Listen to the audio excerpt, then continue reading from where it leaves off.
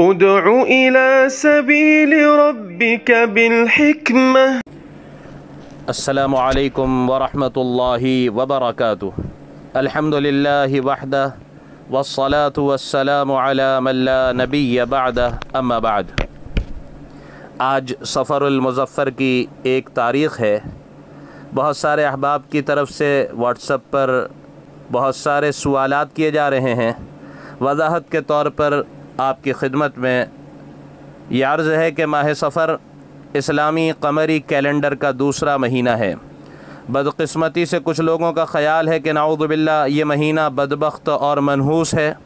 اس مہینے کو منحوس سمجھنا اور اس مہینے میں شادی بیاہ اور دیگر خوشی کی تقریبات کے انعقاد سے اجتناب کرنا یہ ایک بہت بڑی غلط فہمی ہے۔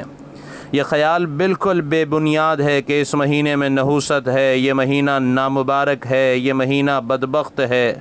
یہ بالکل بے بنیاد اور آدمی کے وہمی ہونے کی دلیل ہے۔ دراصل اس توہم پرستی کا یہ تسلسل ہے جو اسلام سے قبل عرب میں عام تھا۔ رسول اللہ صلی اللہ علیہ وسلم نے ایسے تمام عقائد کو یکسر ختم فرما دیا۔ بالخصوص ماہ سفر کے بارے میں تو اللہ کے رسول صلی اللہ علیہ وسلم کا واضح ارشاد موجود ہے۔ آپ نے ارشاد فرمایا، لا سفر یعنی سفر کے مہینے کو منحوس سمجھنے کی کوئی حیثیت اور حقیقت ہی نہیں ہے۔ اسلام میں نہ کوئی مہینہ منحوس ہے، نہ کوئی دن منحوس ہے۔ ہاں البتہ اس کے برعکس برکت والے مہینے، برکت والے ایام، برکت والی ساعتیں موجود ہیں۔ سفر المظفر کا یہ مہینہ بھی دیگر گیارہ مہینوں کی طرح اپنے اندر خیر و برکت لیے ہوئے ہے۔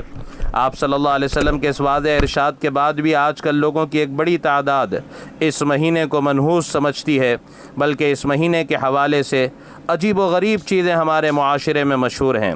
کوئی اس کے ابتدائی تیرہ دن کو منحوس کہہ رہا ہے، تو کوئی تیرہ تیجی اسے کہتا ہے، تو کوئی اس مہینے میں سفر سے اجتناب کر رہا ہوتا ہے۔ تو کوئی اس مہینے کو عورتوں کے بجائے مردوں پر بھاری تصور کر رہا ہوتا ہے، وغیرہ وغیرہ۔ اس لیے میں پھر آپ سے عرض کروں کہ اسلام میں بدشگونی اور نحوست کا کوئی تصور ہی نہیں۔ اسلام میں اگر کوئی نحوست و بدشگونی کی چیز ہے تو وہ انسان کی اپنی بدعمالیاں ہیں۔